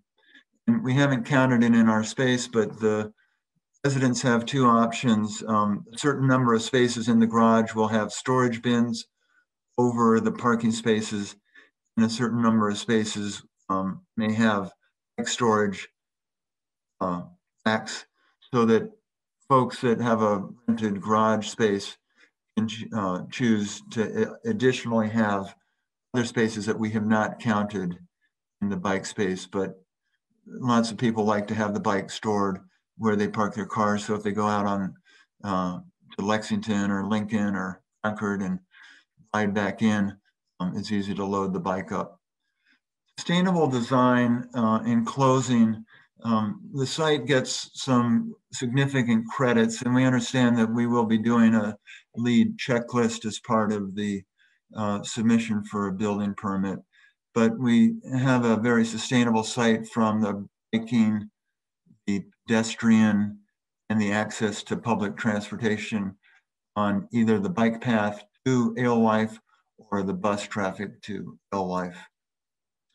Um, some of the principles that the project is looking at and in, included in the uh, package you have are the closure of the building, not only the insulated enclosure, which is continuous exterior insulation, but um, the excessive amount of daylight, we are maxing out the amount of windows that we can get with the new energy code, really enhance the daylighting for apartments and amenity space.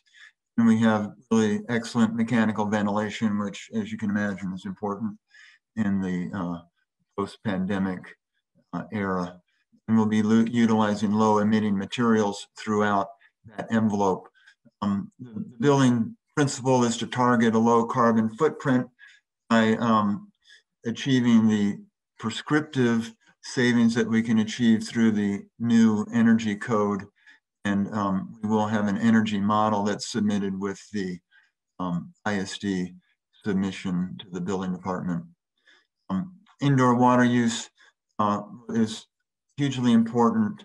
Um, I'll show you a chart in, in how we're planning to really bring this factor down, not only in the building, but on landscaping with uh, either having no irrigation or very high management of the irrigation system. There will be some EV charging stations in the garage as well, in addition to the bike storage. I'm not going to go through all the strategies, but um, the indoor water use that I mentioned I would come back to um, between the low flow and the low flush plumbing fixtures, um, we're targeting a 35% reduction in potable water use.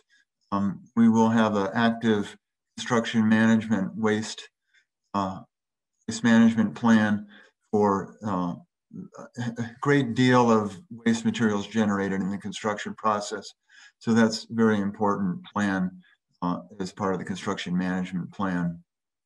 I think I mentioned the bikes, um, the connectivity, rainwater management, and we'll talk more about rainwater management um, next week, next session.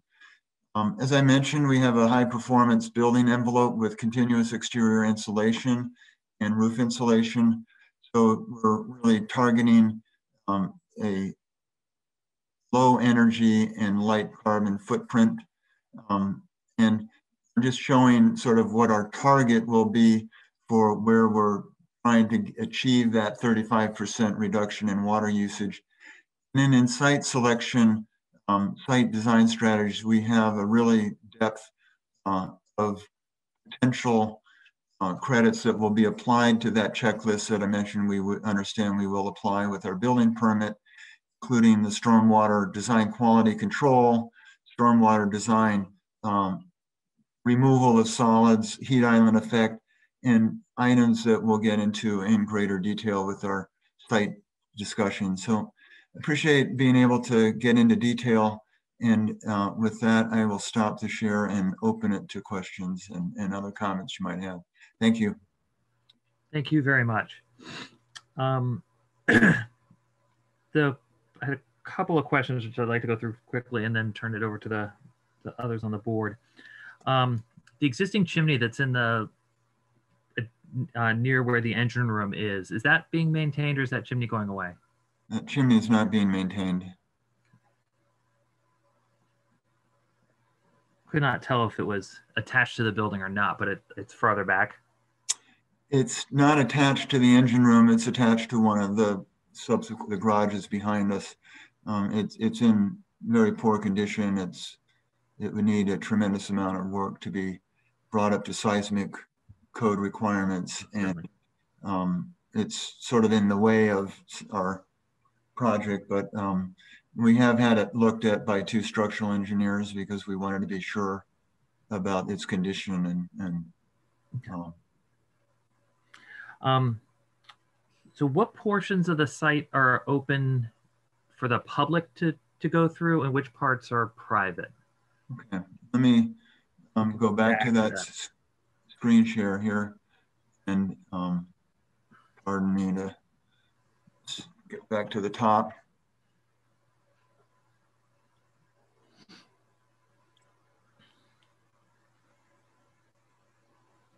The the walkway connects to Ryder Street. So this walkway along Ryder Street's public access comes along the Millbrook.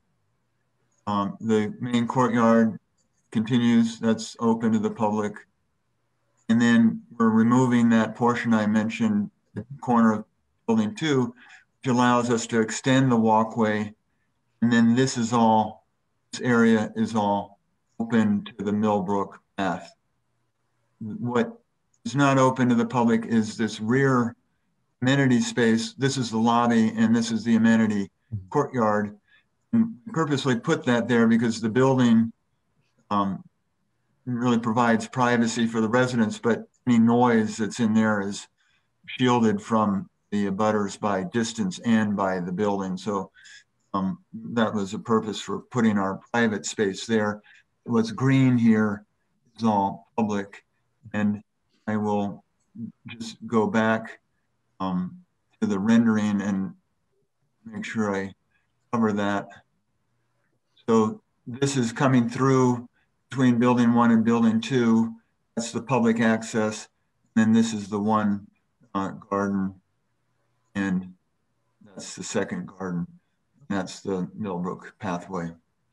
And the, the pathway, it appears the pathway sort of essentially ends at that point because there's no connection as of yet with the adjacent um, property owner. That's correct. And we understand the Arlington's anxious to make other connections. So um, you we're hoping that'll develop over time. Um, so of the, the, the, if you could go, so- sorry, if I can have you.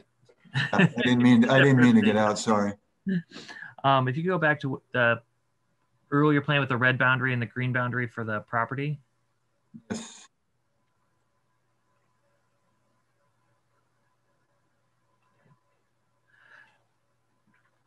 So the the landowner obviously owns these properties. Do they own any of the adjacent parcels? Or are they under different ownership? Oh, they're That's under un- different ownerships. Okay, Uh, they own the Workbar uh, parcel. right. Okay. um, the so for Workbar, so work the Workbar presently has these two sort of di- diagonal structures that go out across the um the, the river there. What are those? That's correct. Yes. I think we show those. What are they? Are they just struts? Uh, actually utilities. The utilities are all on the the north side of Millbrook, so that that building's always connected over that way. That those are not new; those are existing, and those have been there. Yeah. No, I knew they were there. I wasn't quite sure what their purpose was. Yeah, unfortunately, it's the utility. And the on the site plan, it looked like there might be some kind of a a wider piece going across that wider white stretch there, or is that just where there is that something going That's across? not a. There's a little structure there right now. Oh, okay. that's existing. Yeah. Okay. The the new piece is this gray square here, which is the, the new bridge. Okay. And then the, the first floor cladding for building two, is that, are you looking to do that with the, again, with the cementitious siding, or is that, are you looking at doing that in metal? Was, I thought It's, that, uh, yeah, that, the first floor of building two is the cementitious, although there is a masonry base that comes down here. Um, that's a good point. These, these are not cementitious. These are, um, those are either solid, high density fiber cement or metal columns. And those, um, because that wouldn't be, uh, it just sort of from a, from sort of a, an, you know, tectonic perspective, it sort of feels, uh, you know, very modern in a way that the rest of the site isn't. Um, and it sort of feels a little bit, a little bit of a high, high degree of, uh, of a juxtaposition against the, you know, the, the older brick um, that used to be, uh, that, you know, was in the surrounding buildings. And, you know, I think that the cladding on the upper floors does a good job of going back to the cladding that, you know, is on that existing building today. I'm just, um, just to encourage you to think a little bit more about sort of that that metal cladding and whether that um, is sort of the appropriate appearance or not.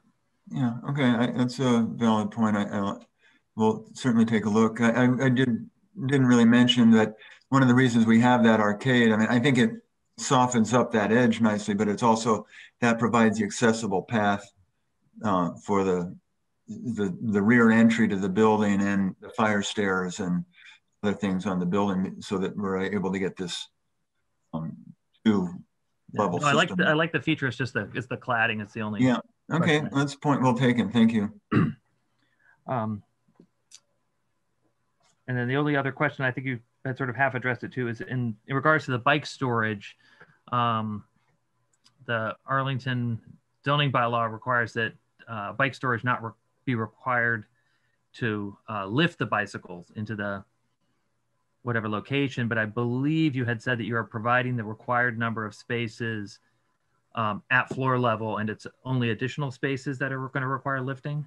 No, I'm sorry, I didn't. Um, I, I said that we're even with the lifted sta- uh, stations, we are providing 114 bike um, spaces, and we, we're not meeting the code requirement the um, for bike parking. So that's one of the waiver requests. Oh, okay.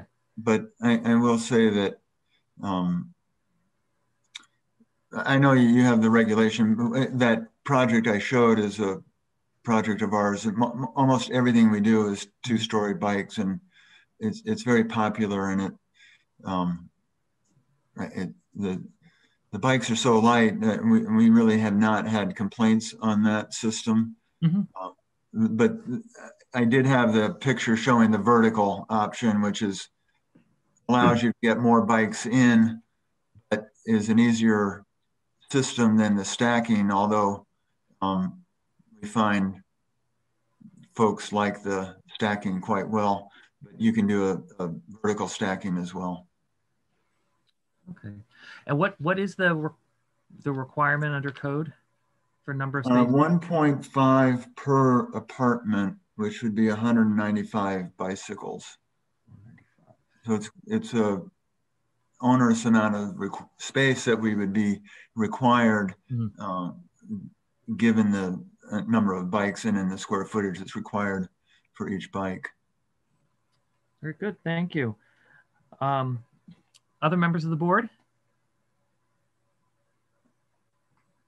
Mr. Revilak. Yes, um, just a, a few questions regarding bicycle parking. Um, the fixtures or the racks that you showed, the you know over under, how high is uh, how high is the top level? The uh, you can see it's the handlebar height Okay, of the okay. lower, so it's three and a half feet. Mhm. Uh, now, were you considering sp- any s- devoting any spaces for larger bicycles, uh, such as cargo bikes? Uh, we have space in the building so that if we wanted to have cargo bikes, there's there is a end space in each of our either the bi- amenity bike room or the gar- uh, garage bike room where you could have a cargo bike. Okay. And finally, what about facilities for charging electric bikes? Uh, It's a- another uh, quickly developing target. Um, we could definitely have those. My my experience has been on our projects that folks don't like to charge the bikes in the bike room because it's too easy to get that battery removed. So I my experience at least has been people take the bike charger up to their apartment and um, at least on the uh, you know on the on the ones where the battery is easily removable, um, which is on the bat uh, you know on the power assisted bikes, not the power run bikes. That's the norm. Uh, I guess if it's a power run bike and not a power assist, then you would have a secure battery, and we could have some EV stations. All right. Uh, thank you, Mr. Bargmann.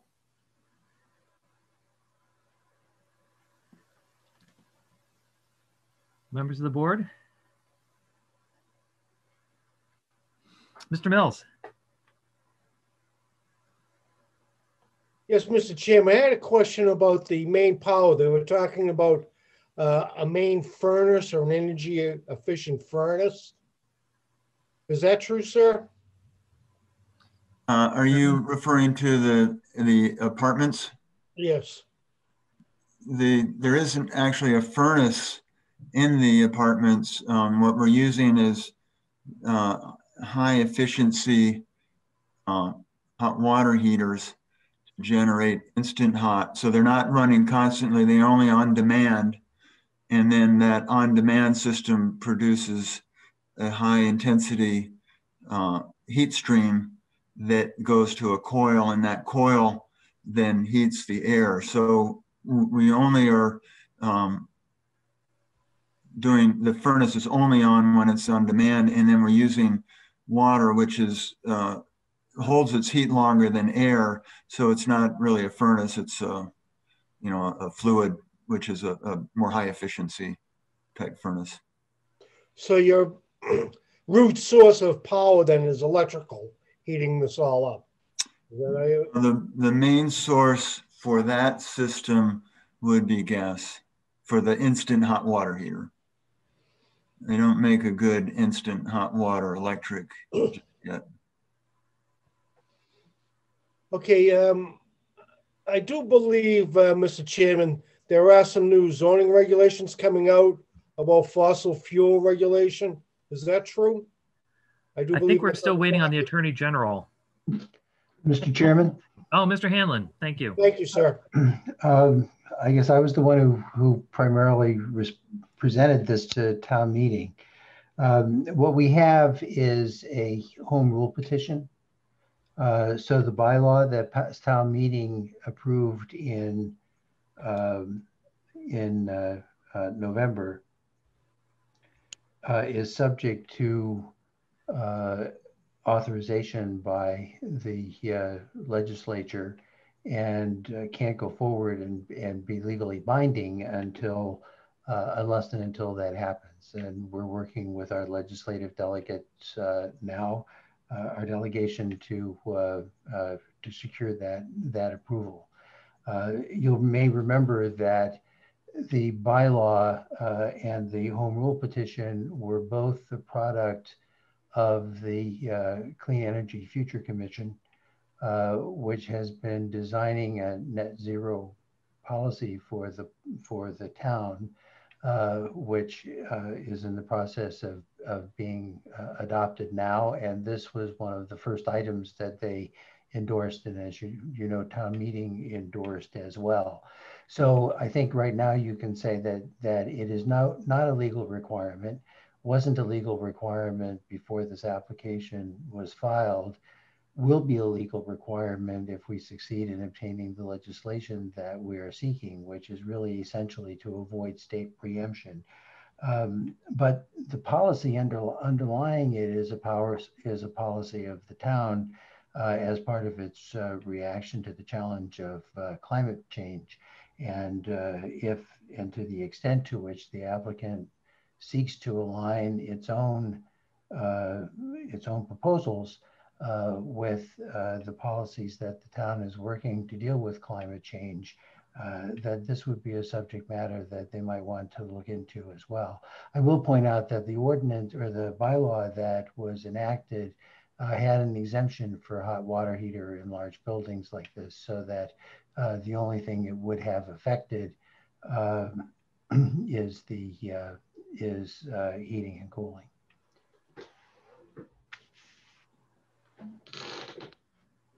Thank you, Mr. Hanlon.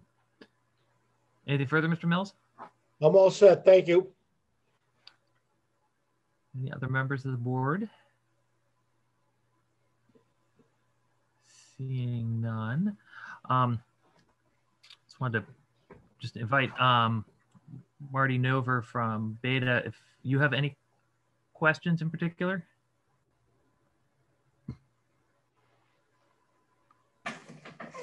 Hi, Mr. Chairman. Um, I don't, I don't have any questions right now. Um, I'm really, it was really nice presentation. It was nice to see um, the project and um, you know how it fits in the neighborhood. So, um, and like like we were in the process of reviewing it, and we'll be prepared next time to talk about the um, the traffic, and then after that, the civil and the stormwater. So, I don't have questions.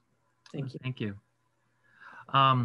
And I'll also turn to uh, Ms. Lynema. I don't know if yourself or on behalf of your department, if you have any questions you had wanted to put forward. Not at this time. Thank you.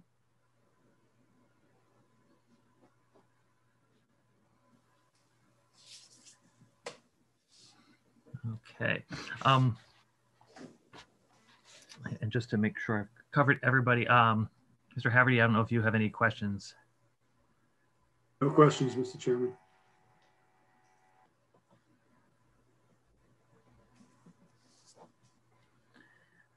Okay. Mr. Chairman, this is Jenny Raitt. I, I don't have any further comments or questions at this time. Thank you. Thank you. I don't believe there are other. Chairman, Ms. Chapman has her hand up, I think.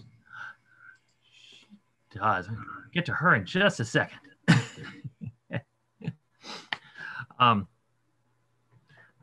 so, Ms. Chapnick, are you looking to speak on behalf of the Conservation Commission? I am. Um, then I will recognize uh, Susan Chapnick, who is the chair of the Arlington Conservation Commission. Thank you very much. Um, I appreciate the, the presentation. I just wanted um, to say that the Conservation Commission is looking forward to assisting the ZBA in um, responding and, and advising on some of the issues.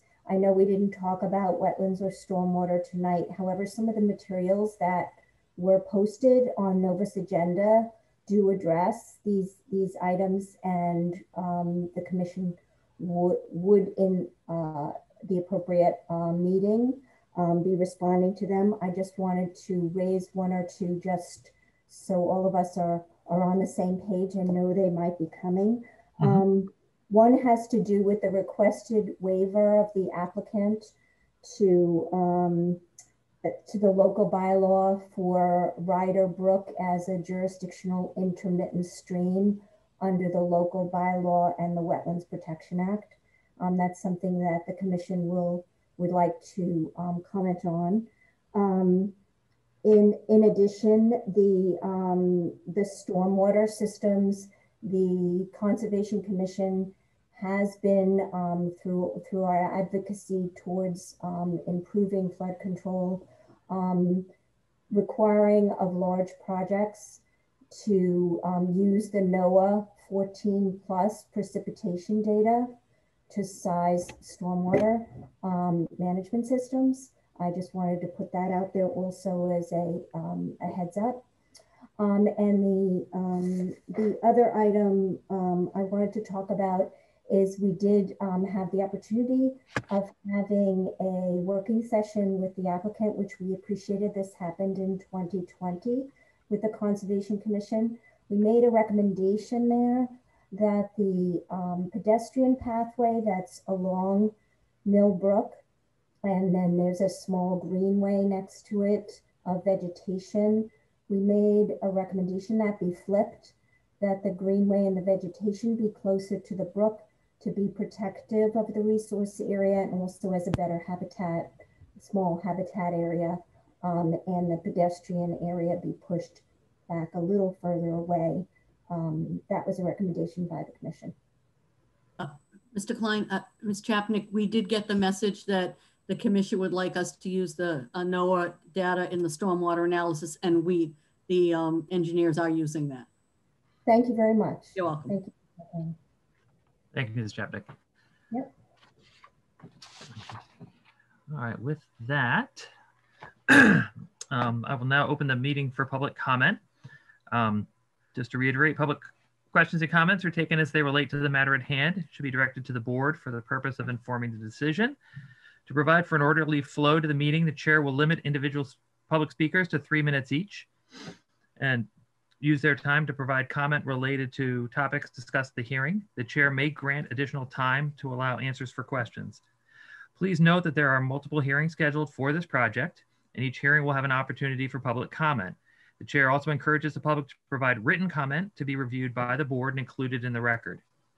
Uh, the procedure for requesting to speak will be the same as for previous hearings.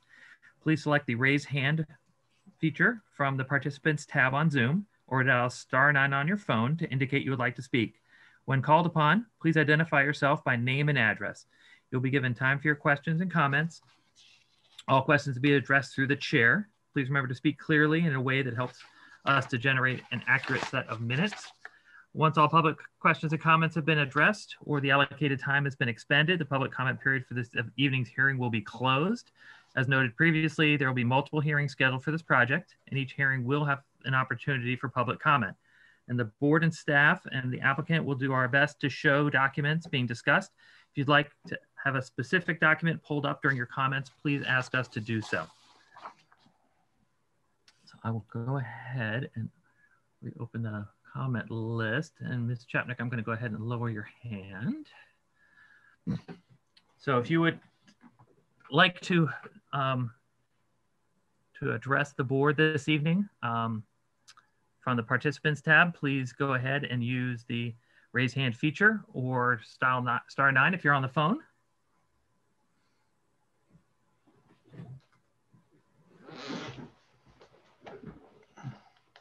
As of yet, I don't see anyone looking to address the board this evening. Leave a little extra time here for people.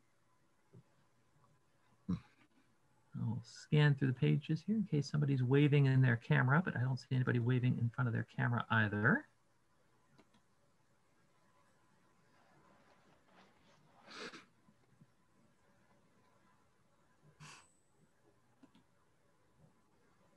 Okay. Uh, Ms. Leroyer? Hi, um, I didn't see the um, raise hand option on the oh. participant panel. But um, so my, my question was actually, do you have a schedule published yet of what topics are going to be uh, discussed at which dates? That is our very next topic. Oh, okay. I'm, I'm very interested in the traffic and um, issues and just want to be prepared for that. Absolutely.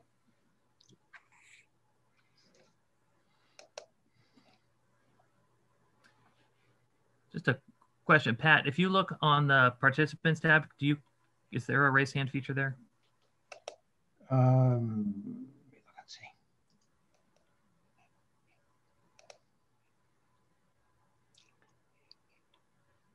I'm a co-host, so I can't actually see.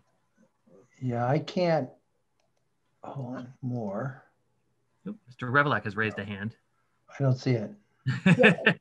Chairman Klein, um, it's on the bo bottom left of the participants. If you open up your participants and make it a, um, a list on the right side of your screen, the raised hand is on the bottom left.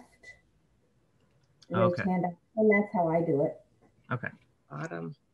Chairman, on my, on my screen, it's not actually. It, it may be just the way I've, I've set up the view, but Okay.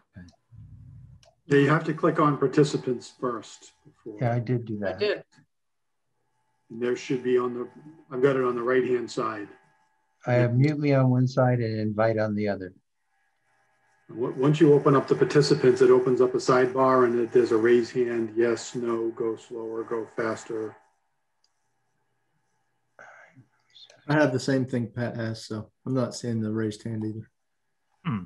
That's interesting. I, I had the same thing as Paul. Right,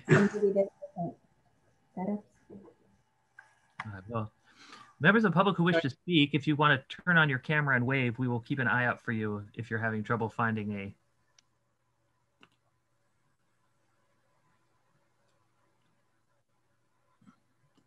Back and forth here.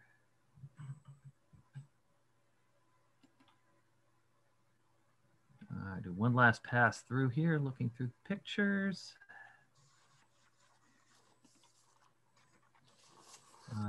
Seeing none, I will go ahead and close the public comment for this evening.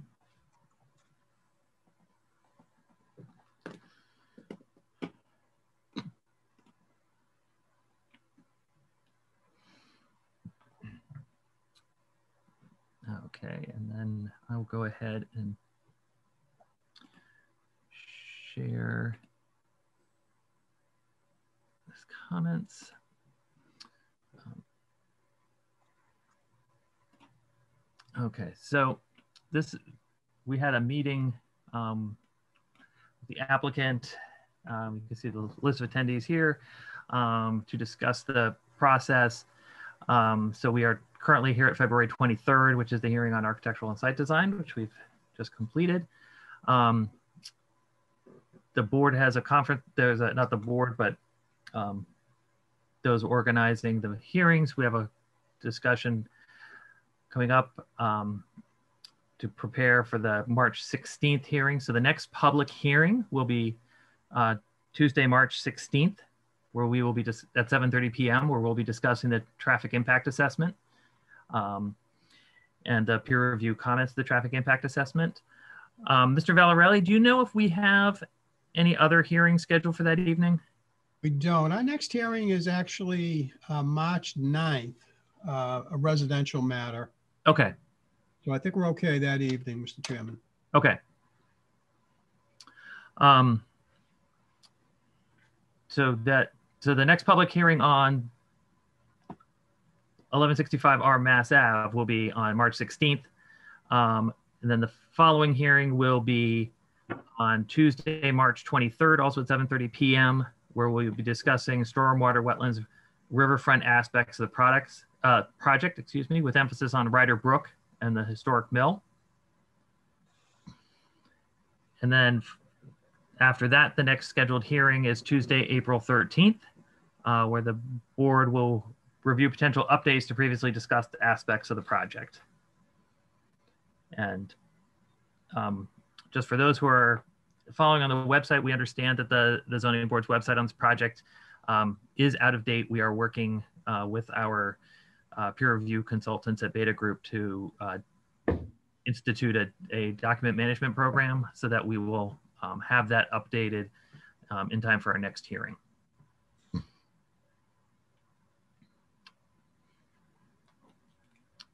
Okay. Go Stop share on that. Go back to the agenda. Um, are there any other preparatory um, discussions on this before we adjourn for the evening? Mr. Chairman, I assume we will discuss the landscaping um, at the Ma- March 23rd hearing. Yes, please. Okay.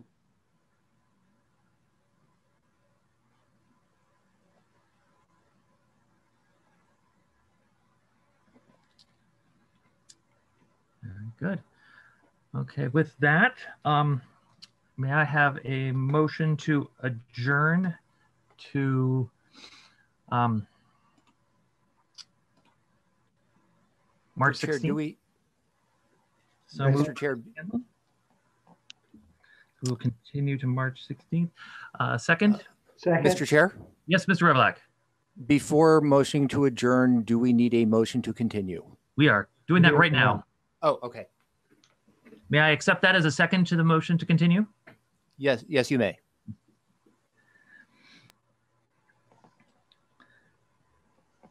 Okay, and I will do a roll call for the board. Mr. Dupont, Uh, aye. Mr. Hanlon, Aye. Mr. Mills, Aye. Mr. O'Rourke, Aye. Mr. Ford, Aye. Mr. Revilak, Aye. And the chair votes aye. We are continued on this until Tuesday, March 16th at 7:30 PM. Thank And- you. Thank you all for your participation in tonight's meeting of the Arlington Zoning Board of Appeals. I appreciate everyone's patience through the meeting. Especially wish to thank uh, Valarelli and Vincent Lee for all their assistance in preparing for and hosting this online meeting. Please note the purpose of the board's recording of the meeting is to ensure the creation of an accurate record of the proceedings. And as our understanding, the recordings made by ACMI will be available on demand at acmi.tv within the coming days. We would also like to thank uh, members of staff at the Department of Planning and Community Development for their assistance in preparing for this and subsequent hearings. If anyone has comments or recommendations, please send them via email to zba at town.arlington.ma.us. That email address is also listed on the Zoning Board of Appeals website. And to conclude tonight's meeting, may I ask for a motion to adjourn? So moved. So moved by Mr. Hanlon. Second? Second. Second, thank you, Mr. Mills. Do a voice vote of the board. All those in favor of adjournment, please say aye. Aye. Aye. All opposed, please say nay. The ayes have it. We are adjourned. Thank you, Mr. Chairman. Thank you. Thank you all very much. Thank you. Good night. Thank you. Good night. you. Guys. Night, everyone. Good night.